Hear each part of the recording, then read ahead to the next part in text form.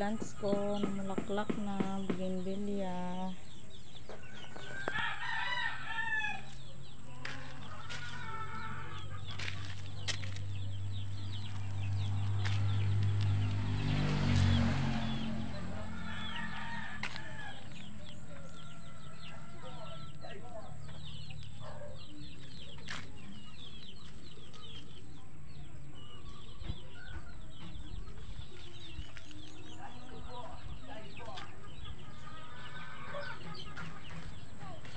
my first ever rose. Pink rose.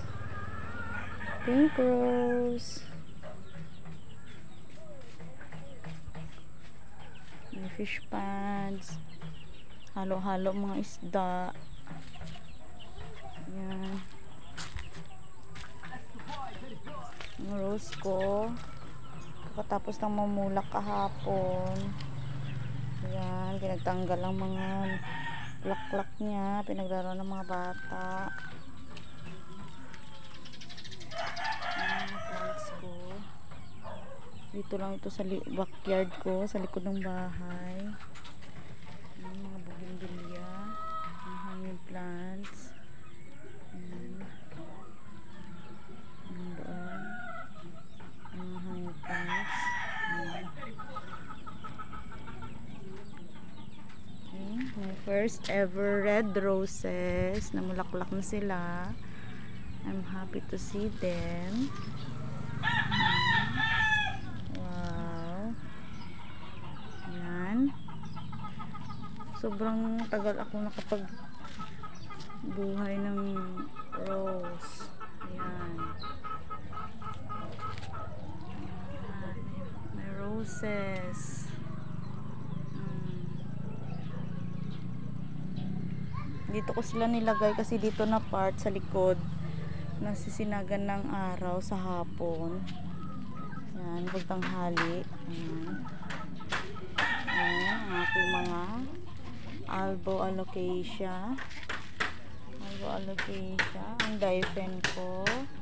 Green dipen um, royal queen yata ito royal queen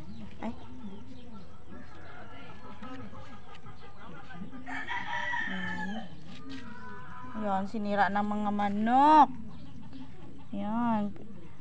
Maganda na sana ito. Madabong na. Lash na siya. Kaso, ah, sinakyan ng manok at saka pinagtutuka yung tang mga tangkay niya. Marami na sana tong dahon. Ayan, ang butterfly. Purple butterfly. And maroon. Ay, with, with maroon maroon matching with purple that's ayan yung watermelon ko. Nasira ng mga manok oh. Hinaray kayo ng mga manok. Ayan. Napasaway ng mga manok. Lash na lash na yan eh. Ito yung oh variegated na siya. Variegated na siya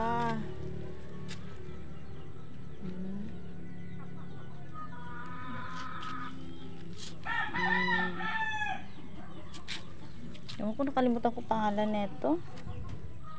Ito din ang ito magkasama yan sila oh.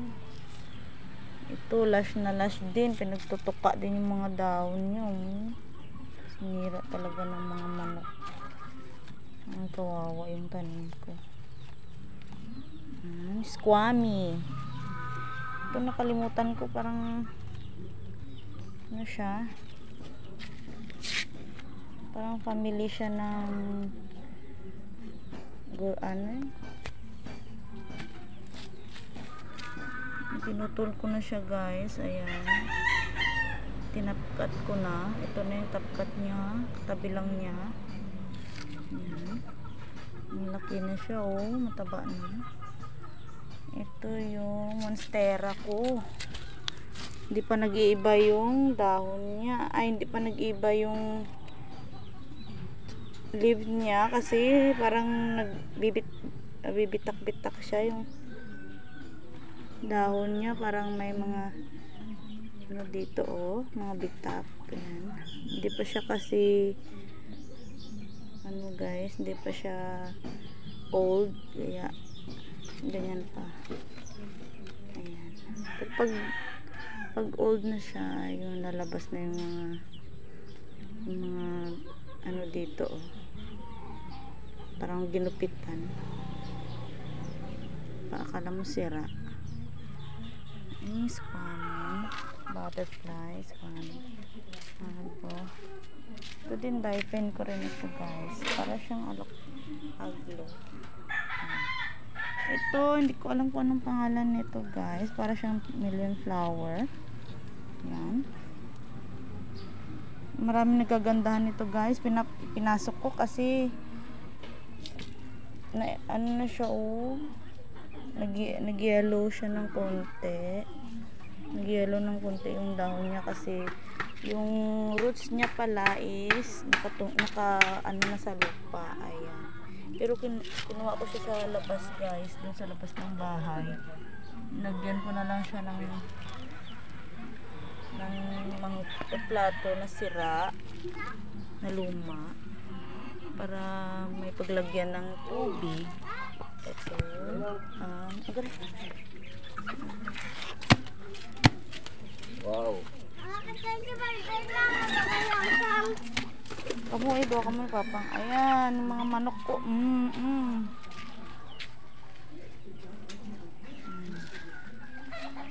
Ayan. Lumabas yung manok guys. Ayan na. Yung makita yung mga manok guys. Ito yung mga manok guys. Oh, maliliit pa. Pag lumaki na din mga yan at ilabas na. Napakawalan niya mga yan. Sira lahat ang mga bulaklak ko guys. Wala na. Ayan. Ayan. Ito yung Doti Calathea. Pine tree ko guys. Oo, nakapagpatubo ako ng pine trees. Siguro ang tagalan nito mga ano na, 5 months. Dalawa. Ito pa guys. Oh. Yan, 5 months na yan sila guys.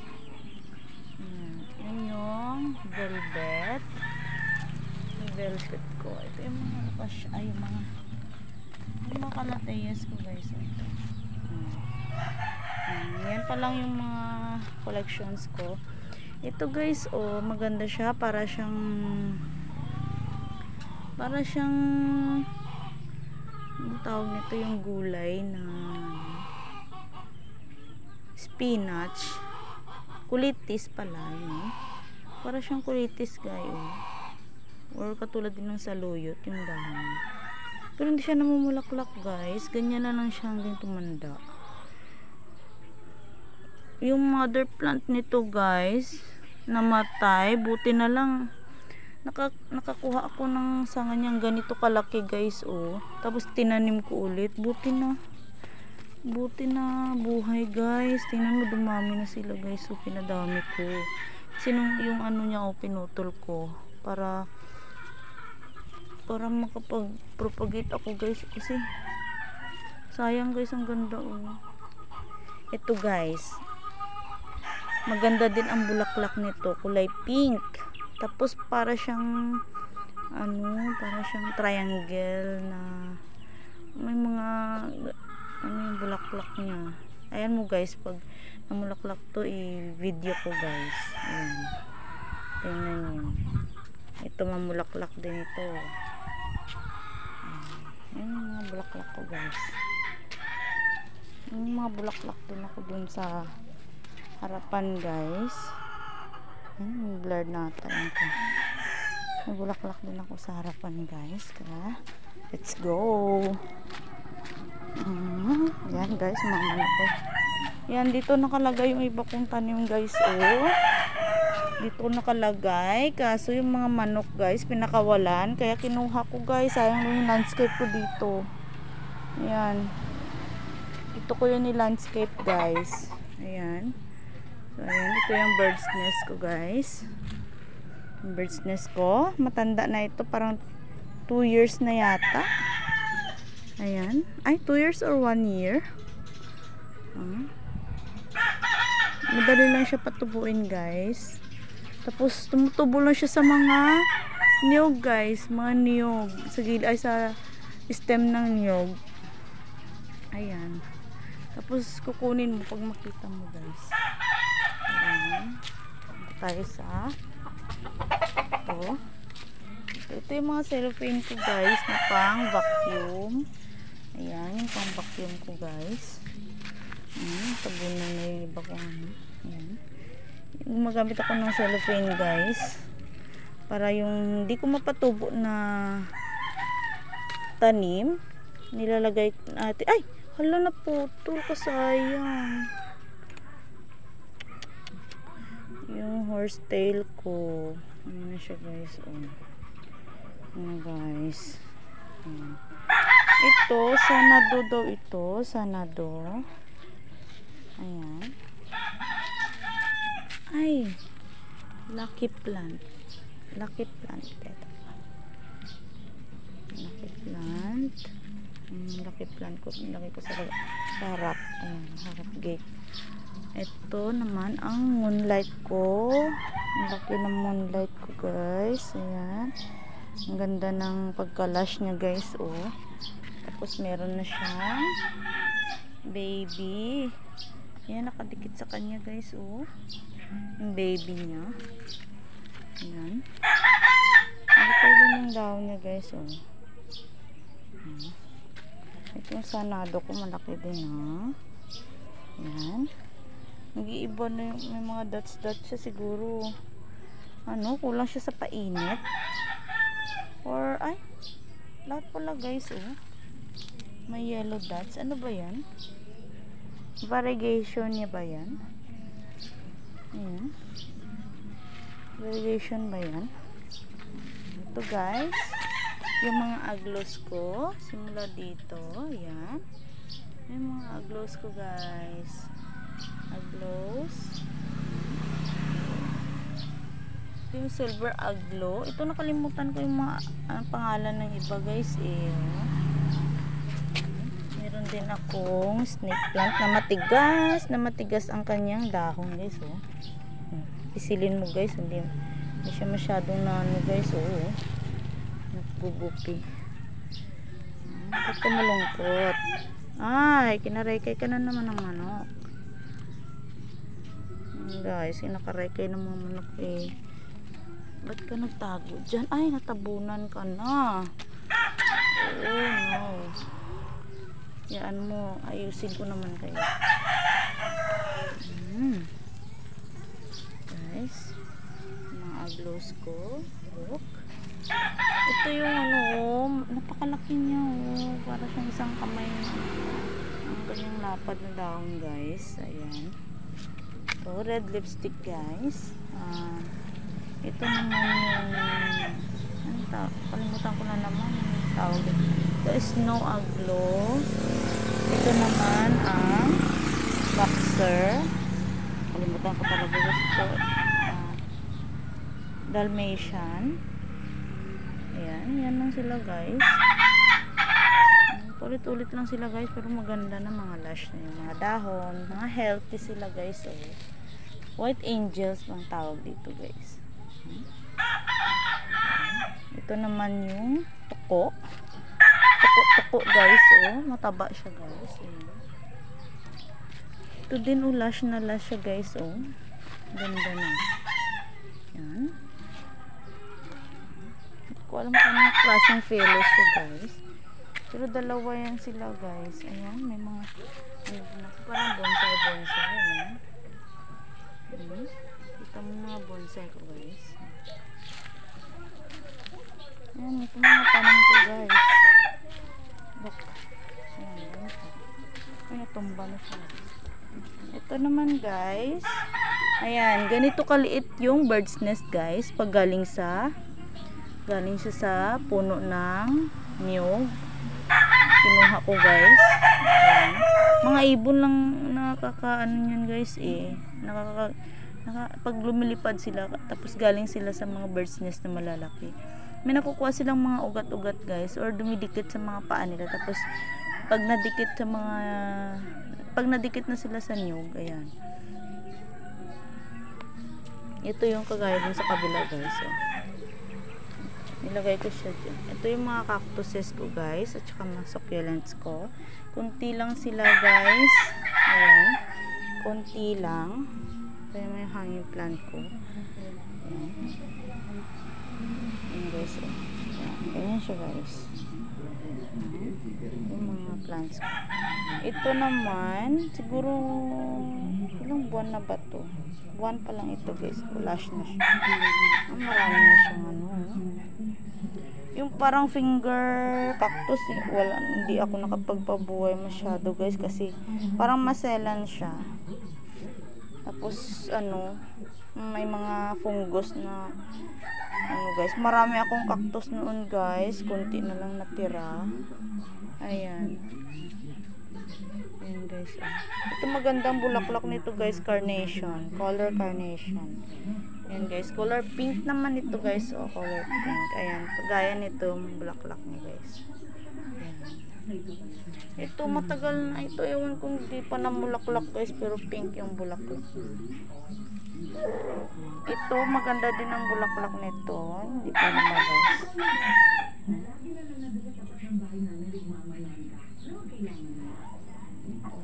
Cactus, guys.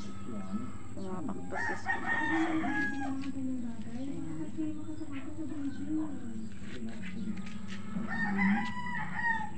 Ayan. Matanda na siya guys. Oh, siguro man nasa for at 2 years na siya guys. 2 years or 3 years.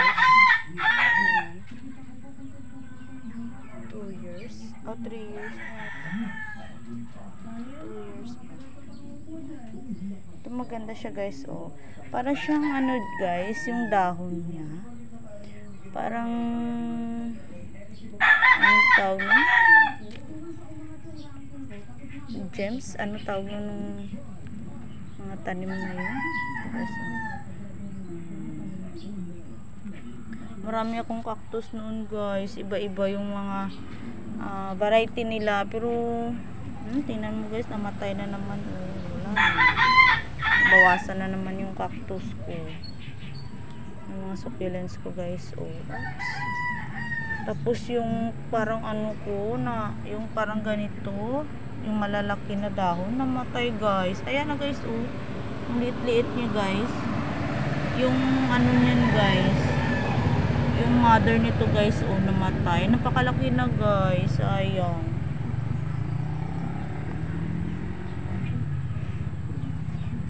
may may lagayan ako noon guys dito. Malaki siya. Parang yung sira namin na na orokan drawer. Dito ko yun nilagay guys. Dito na part. Tapos natumba yun. Natumba dito. Lahat sabog yung mga bulak yung mga tanim ko na cactus. Namatay sila guys kasi binaha kami dito. Baha. Yun nyo sa likod namin guys. Oh hindi ko nalilinisan kasi mapu maano siya guys maputik. Dapat ano naka butas ako pag pumunta ko dyan sa likod namin. Ayan guys. Ayan. Hindi ko na sila naaayos ng maigi guys kasi putik dito. Putik. Ayan. Mga nyug marami pala kaming nyug dito guys oh. marami na siyang bunga. Ayun guys oh. Ayun guys oh. Yun napakasipag niya mamunga guys. Ayun ayan ayan marami na silang bunga guys. So kaya someday mga dalawang buwan siguro pwede na silang harvesting guys. So yun. Dami guys. So thank you po sa panonood. Ayan.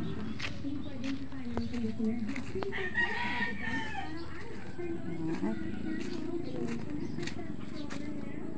Po yung kabuuan dito sa likod guys ayan Ayan, guys ito yung paligid namin guys niyo. Paligiran kami ng mga tubig. Char. Gilid kasi ng fish pond yung bahay namin. Ayan o, dikit na dikit lang guys. Ayan. Ayan. Ayan. Salamat guys sa panonood.